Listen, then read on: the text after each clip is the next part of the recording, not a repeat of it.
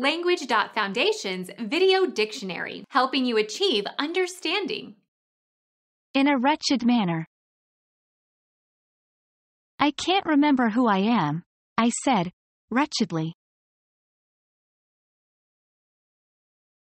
Become our student and get access to effective and free educational materials.